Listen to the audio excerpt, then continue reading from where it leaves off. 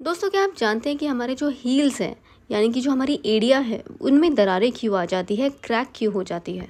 और कभी कभी तो उनमें इतना ज़्यादा दर्द होता है, खून निकलने लग जाता है कि चलना हमारा मुश्किल हो जाता है। और ऐसी प्रॉब्लम हमारी एडियो में ही क्यों आती है तो आज उसका हम कारण देखेंगे। साथ ही साथ में उसका सोल्यूशन भी लेकर आई हूँ आप लोगों के लिए तो वीडियो को बिना स्किप किए पूरा ज़रूर देखिए। सबसे पहला रीजन ये है की बढ़ती उम्र में हमारी स्किन जो है ऑयल बनाना कम कर देती है, जिससे की खास करके सर्दियों में ड्राइनेस बहुत ज़्यादा हो जाती है। दूसरा कारण ये है की हमारा बॉडी का पूरा वेट जो है हमारे पैर ही संभालते हैं तो उन पर बहुत ज़्यादा प्रेशर पड़ने की वजह से भी क्रैक्स आते हैं, जिसकी वजह से एडियो में बहुत ज़्यादा दर्द भी होता है और ड्राइनेस होने की वजह से खून भी आने लगता है। नंगे पैर भी हम घूमते हैं ना तो उसके कारण भी हमारे पैरों में क्रैक्स आ जाते हैं। और हम अपने पैरों पे, एडियो पे ज़्यादा ध्यान नहीं देते, जिसके कारण हमें ये सब परेशानी झेलनी पड़ती है। तो चलिए दोस्तों, इसका फटाफट से निवारण भी देख लेते हैं, लेकिन उससे पहले एक छोटी सी रिक्वेस्ट आपसे ज़रूर करना चाहूँगी। अगर आप मेरे चैनल पे पहली बार आए हैं और अभी तक आपने चैनल को सब्सक्राइब नहीं किया है तो प्लीज़ कर लीजिए, क्योंकि ऐसी इंटरेस्टिंग अमेजिंग वीडियोस मैं आपके लिए रोज लाती रहती हूँ। साथ ही वीडियो पे एक छोटा सा लाइक भी ज़रूर कर दीजिएगा, क्योंकि आपका एक एक लाइक मेरे लिए बहुत मायने रखता है। इस क्रीम को बनाने के लिए सबसे पहली चीज़ और सबसे इम्पोर्टेंट चीज़ मैं यहाँ पर ले रही हूँ, वो है वैसलीन पेट्रोलियम जेली ये किसी भी मेडिकल स्टोर में आपको आसानी से मिल जाती है। ये तो खैर मैंने बड़ी डिब्बी ली है, इसकी छोटी सी डिब्बी भी मिलती है पाँच रुपए वाली, वो भी आप लेकर के आ सकते हैं। उसके बाद जो अगली चीज़ आपको लेनी है, वो है एक छोटा सा चम्मच नारियल के तेल का। मैं बहुत सिंपल सी चीज़ों के साथ इस क्रीम को बनाने जा रही हूँ, ये सभी चीज़ें आसानी से आपके घर पे मिल जाती है। अगर नहीं है तो आपको मार्केट में भी आसानी से ये सारी चीज़ें मिल जाती है, आपको ज़्यादा ढूंढना नहीं पड़ेगा।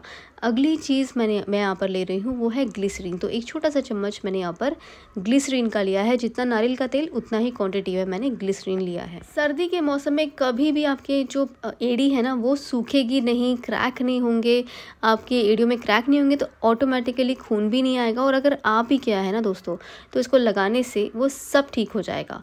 कुछ बूंदे नींबू के रस की इसमें मिला रही हूँ? तो बस दोस्तों, ये चार ही चीज़ें हमें चाहिए होगी इस रेमेडी को बनाने के लिए। सभी चीज़ों को ना आपस में अच्छे से मिक्स कर लीजिए। आप चाहें तो ना डबल बॉयलर मेथड की मदद से इसको गर्म भी कर सकते हैं ताकि जो वैसलीन है वो अच्छे से मेल्ट होके इन चीज़ों के साथ मिक्स हो जाए। या फिर अच्छे से अच्छे से ना दो मिनट तक कम से कम इसको लगातार चलाइए, जिससे कि ये एक क्रीम लाइक कंसिस्टेंसी में कन्वर्ट हो जाएगी। दोस्तों, जब तक मैं इसे मिक्स कर रही हूँ, तब तक आप मुझे बताइए कि आप मेरे इस वीडियो को दुनिया के किस कोने से देख रहे हैं कमेंट करके बताइएगा। आपका नाम, आपकी जगह का नाम, ताकि अगली वीडियो में मैं अपनी वीडियो देखने के लिए आपको थैंक्स कह सकूँ। मेरा पिछला थैंक जाता है विक्रम पडालिया जी को, जो कि राजकोट, गुजरात से हैं। अब देखिए, जैसे कि आप देख सकते हैं, एकदम क्रीम लाइक कंसिस्टेंसी कन्वर्ट हो चुका है। अब इसको लेकर आपको अपनी एडियो पर इसको लगाना है। आपको ना रोज़ाना रात में सोने से पहले इसको अपनी एडियो पर लगाना है। और इसकी अच्छी बात यह है कि इसको स्टोर करके भी आप रख सकते हैं। आप बाहर रखना चाहें, बाहर भी रख सकते हैं इसको स्टोर करके, कोई दिक्कत वाली बात नहीं, एक महीने तक का बना करके आप रख सकते हैं इसको।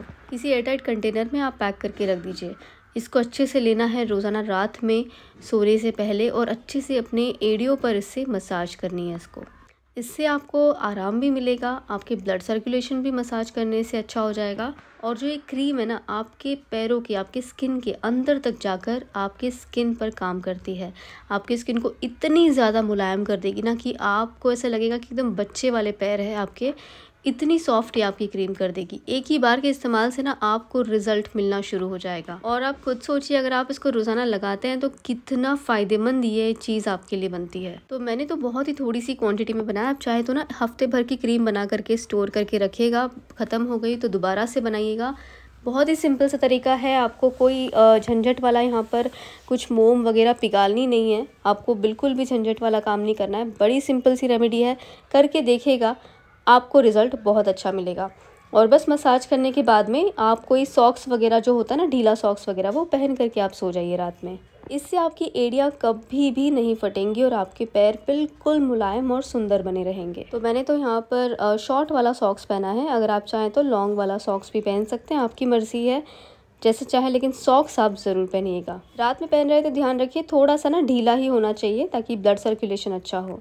तो दोस्तों, आप कैसी लगी आपको मेरी ये वीडियो वीडियो थोड़ी सी भी अच्छी लगी होगी इन्फॉर्मेटिव लगी होगी तो लाइक शेयर सब्सक्राइब करना बिल्कुल ना भूलें। हो सके तो वीडियो को ज़्यादा से ज़्यादा शेयर ज़रूर करें अपने दोस्तों में, रिश्तेदारों में, ताकि आपके ज़रिए उनकी भी मदद हो जाए। Thank you so much for watching video friends मिलता है अगले वीडियो में, तब तक के लिए बाय टेक केयर